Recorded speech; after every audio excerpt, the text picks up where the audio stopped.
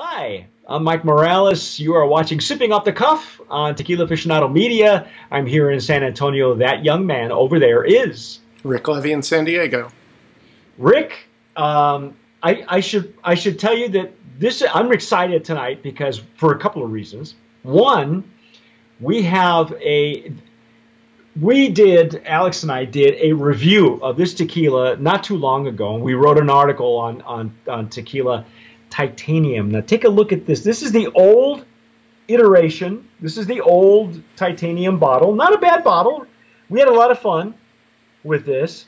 And what Rick is holding, Rick is holding the new version, the new and improved titanium. Look at take a look at this bottle. The new eight-sided bottle.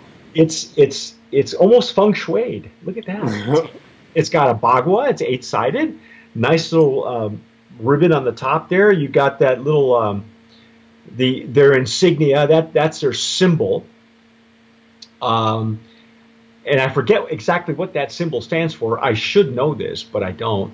Um, this is from NOM 1479. I can tell you that they have not changed NOMs, so they didn't move out of their distillery. They are still at the same distillery.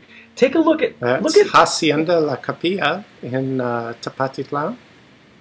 Yes.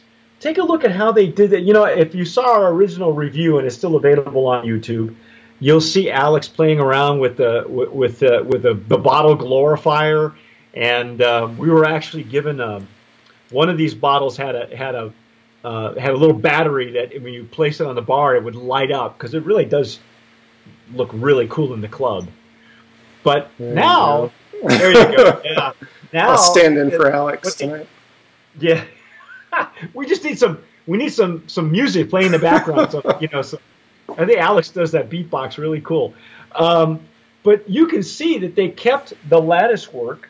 You see the the, the little Yeah, that's uh, really attractive. I like yeah, that. it is because they had it originally uh, on a frosted bottle. You see how they did that. Mhm. Um, we nominated it for, for packaging the first time around. I, I would like to just off the bat renominate this for the new and improved packaging. It really is a gorgeous package. Yeah, and uh, and they've carried they've done some nice touches in carrying it through the line. So each Yes. each uh, each varietal has its own signature color, and uh, you know they all look very handsome in a set. Um, do you know offhand? I, I know you said uh, La Hacienda La Capilla, the, the distillery. What uh, do you know offhand? Which other brands come out of there? I, I could look it up. but Why, I, yes, I do. In fact, I uh, figured you could. Alaire comes out of there, which uh, you'll probably be seeing a review for that shortly. The luxury tortilla company. With the with the very very tall, very heavy bottle. Yes. Uh, you know, now here's just for the sake of transparency, we also nominated the, the, original juice. We nominated it for Brand of Promise in the Blanco category. So this is not a resubmission. We're, we're, we uh, Rick and I have not done the Blanco. So we're going to taste the Blanco so that Rick has a really good idea of, of what to expect with the rest of the line. So this is a, a retaste, but not a resubmission because it is a, just for the again the sake of transparency, I've had a little bit of this juice. If you haven't been haven't told haven't been able to tell, um, I know it hasn't changed, but Rick has not had it. So we're going to go into the Blanco. What what glasses are we using tonight, Rick? Because it was the I'll other reason tell I was a little excited. I'm going to use my experimental prototype from Yeah, uh, courtesy of Romeo Ristov at uh, Chisholm Trail. Chisholm Trail, and this is the one that I was using that we did. Uh, all, I did all the mezcals with, and um, I will tell you, this is the first time I've used it for a tequila. There were there were two So- versions.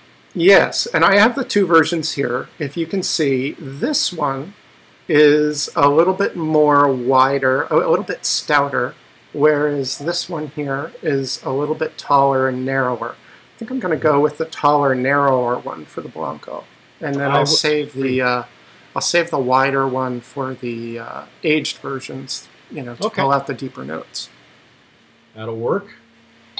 Um, this is the, we're working. Uh, in case you haven't uh, been uh, catching up with us, we are working uh, with Chisholm Trail Craft glassware glasses uh, here in Texas, and um, he uh, Romeo Ristoff is the proprietor and is um, uh, trying to come up with a a glass that um, that will be suitable for um, sipping agave spirits. And these are prototypes that uh, he'll be working with uh, Stossel. Uh, and you may have seen our Stossel glasses. We're, in fact, I've, I've got mine here. It's the it's the Stossel nosing glass. There's this one here. It's a stemware. Yes. And, stem uh, you know, there you know, are, well, there's some similarities in the shape. But, yeah, uh, the, they're, the they're not the same. The similarities, I think, go uh, almost um, almost uh, at, the glass, the, the thickness of the glass is something that, that I think is indicative of the Stossel. So, and um, this is a heavier glass. This is even a heavier glass than the Stossel nosing glass that I have. Um, well, it's, the, a, it's a thick it's base too. Thicker. It's you know it's even thicker at the top. Um, the uh, yes. thickness of the glass, but it's got a real solid heavy base to it. And just look at how, you know, it is really giving a great presentation to that Blanco. It's making it very shiny and uh, it's really catching the light beautifully here. How do you how do you like it in your hands? You know, the base is thicker than than uh, some of the uh, some of the Glencairns we've been using. So do you do you are, are you are you comfortable with the with with holding? I'm feeling like I, am feeling like I need to I need to uh, grab it really almost at the bottom. Mm-hmm. Um, you know, when you have like a like a Glencairn whiskey glass, um, you know, it's a well. I actually have one right here. I'll pull it out. So with the Glencairn, you know, it has this uh, you know stubby base that you can grab onto. With this, you know, you kind of uh, have your fingers um, on the bottom you know, maybe it's the kind of thing that you would just kind of lay in your hand and, uh, you know, waft under your nose. Oh, mm. could be. Wow. Some somewhat uh, kind of like a like a, a, a, cognac snifter almost. Yeah. How do you like those notes? I you know I think uh, it's it's giving a really great presentation on the nose, and yes. uh, you know, so that's to the credit of both the glass and of course the juice. Mm, it's coming up beautifully. Yeah, I'm getting uh, I'm getting some herbal notes, but I also at the center of it I get that um, that uh, common um, Highlands agave uh, note that I usually pick up which I usually, um, you know, I'll kind of uh, uh, label it as apple, but not like a sweet apple, not like an apple pie, but you know, just in terms of the uh, the uh, you know the white juicy. Um, the what's the word I'm looking for? like a like uh, would you say like a crab apple maybe or or well, I don't know. I don't know uh, if I've eaten crab apples or Gran- spent a lot of time around them, but yeah, you know, it does have it does have a greener kind of feel to it than uh, than what is typical the, of Highlands. Then it's it's the greener.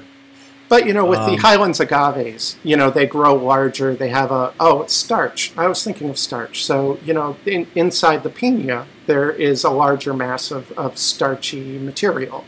Um, right than you get in, say, the uh, lowlands agaves typically. And uh, it's that kind of starchy center where it's, uh, you know, where uh, it's almost just, you know, the pure agave starch. And that's going to uh, convert to sugars very cleanly.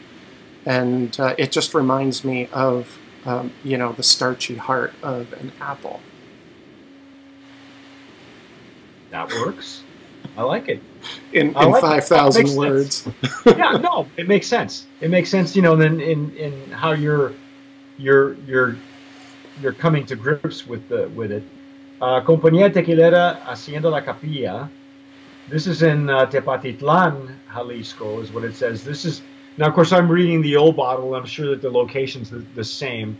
It's still being imported by the same guys, which is uh, uh, Tequila Titanium. Um, and the uh, let's see uh, there we go. Premium Spirits LLC is the name of the company.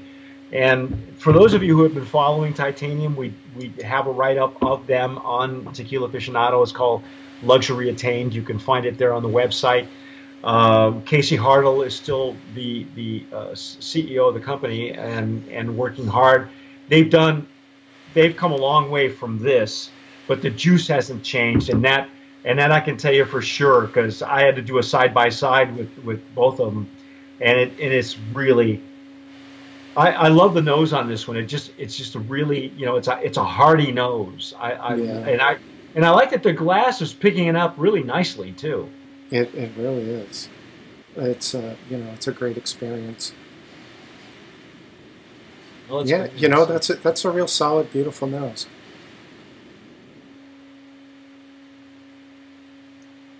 Mm, mm, mm.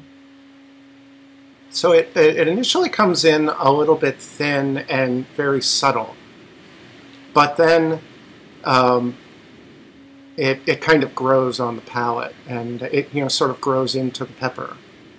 Yeah, it does. It's a it's a it's a gradual increase all the way to the finish, yeah. and um, uh, right now I'm, I'm getting a little bit of just a, just a hair of bitterness underneath my my palate at the bottom but it's not a not a, not a bad thing. It's just it's just from probably from the peppery explosion. It doesn't, you know, it's not, I can't even say it's an explosion. It's a gradual, like a gradual pepper heat. You know, it's yeah. not it's, it's not aggressive on the intake. Yeah, which, it's like there are other tequilas we've had where you know as soon as it comes in, it'll pop on the palate, right. and this one this one will sneak up on you. Yeah, the the they um, when when we first met Casey, they um, were nice enough to bring us a bottle of of another Blanco, another brand that they hope to someday bring in. Um, and it was just a Blanco in a beautiful ceramic bottle. I I don't have the bottle nearby. I'd show it to you, but that Blanco, when we talk about subtle, it was probably one of the most subtle Blancos, and really taste tasteful Blancos I've ever had and it's it's stellar juice and and that that is hopefully the natural progression of where they're going with, with this one. So when we say that the, the intake and the pepper is gradual, that's exactly what we got with that much finer iteration coming from this distillery. So yeah, um, it's it's uh, you know I would uh, I would probably call it a bloom. You know, yeah, it's like it's like go. a slow yeah. opening and blooming. Yes. On the palate. Yes, very much, very much like like the nose is blooming in this in this glass now. Wow, and it's yeah. and so these are these are bottom. Did you, did you get that? Yeah, the, these are estate grown agaves uh, right there yes. at 1479 La Capilla. Um, and uh, what else do we know? They are cooking the agaves in an autoclave, but they are slow cooking them. So they're not using the autoclave for speed. Um, they're more using it for precision, I guess. Well, Which, you know, and you know, I'm always talking about how much I love um, masonry ovens, um, but the reason for that is because you know they cook slowly, right. and so um, you know I don't have a problem with uh, with autoclaves that are used for a slow controlled cook. I've had several tequilas done that way, and uh, and you know they're very good. Some are some are even blended. You know, they'll they'll do a half and half blend when they shred them. So some are cooked in in masonry masonry ovens, and the other half would be in autoclaves, and then they blend the two to get a, a, a certain flavor profile. This one is not a blend, but um, I well, that I, nose is still I, coming. That is really, you know, that's a, a really lovely nose. I'm enjoying that a lot. It's opening up even more, huh? Yeah, and you know, there's some there's you know fresh green notes on there, but it's not it. I, I'm not feeling like it's uh, you know green undercooked agave or you no. know speed cooked agave or anything like that. It's just uh, you know just kind of lovely grassy notes and herbal notes. I love this glass, man. I'm telling you, this is this is the first try I've had. Uh, I've used this glass with a tequila uh, I had, uh, if you've been watching, I've used these these two prototypes with mezcal, and it's almost too easy, you know, with a mezcal, especially at a higher ABV like we were like we were using. Yeah. Uh, with a tequila that this subtle, it it really and and the th- I thought the thickness of the glass would kind of mute the nose a little bit, but it didn't do that. Not in this case, anyway. It's fun to fondle. you know, it's like since you have to grab it at the bottom, you just end up kind of rolling it around in your hand, and that probably prompts um, prompts a bloom in the nose as well. Well, you know, I, I try not to warm it up too much, you know, because like it, that's the danger you have with these glasses is you warm it up, Hmm. then either the release of of of the of the nose changes a little bit, or you know, it's good. It's not a bad thing, but in a blanco, I really try to myself. I try to keep it at room temp as much as I can before it starts to heat up too much. Would you say, um, in terms of the nose, are you getting anything like celery or green pepper?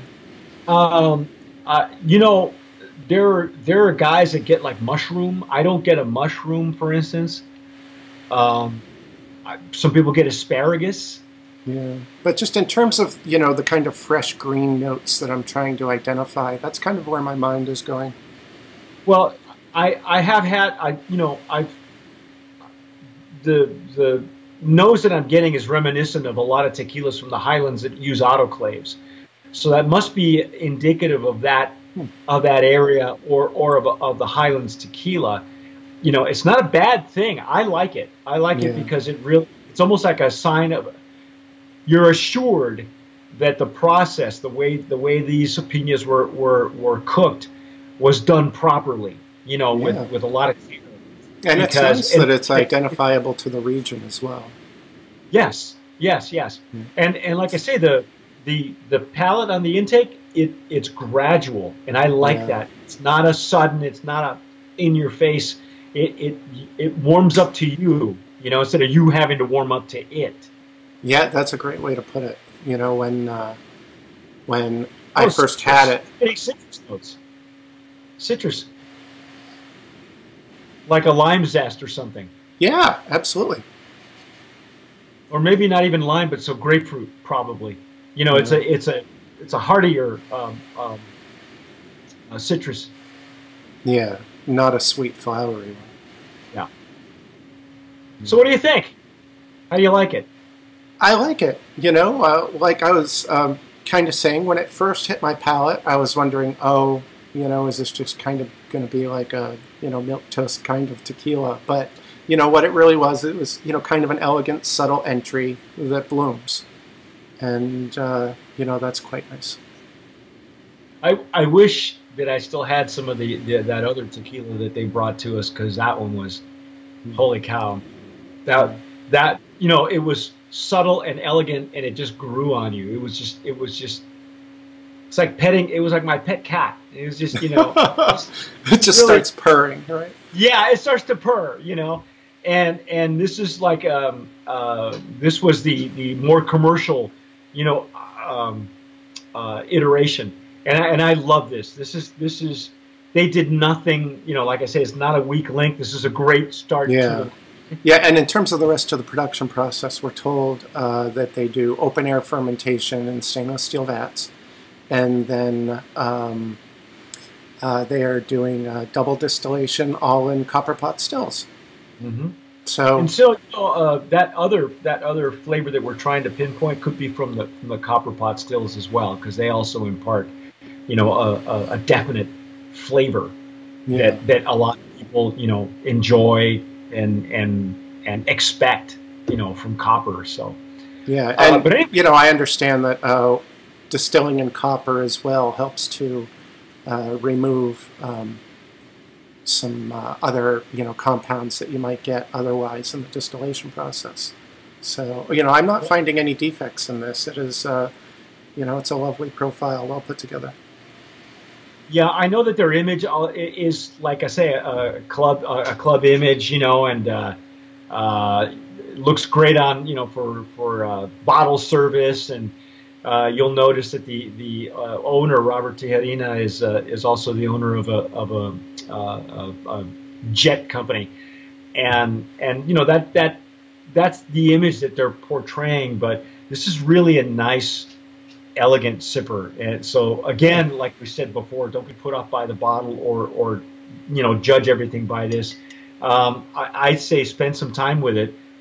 Needless to say, there's probably a, a great possibility of using this in a cocktail in several cocktails because it'll really stand up. I think I think that the flavor profile is hearty enough to stand up to margaritas, palomas, things like that, uh, or anything that your mix, local mixologist can come up with.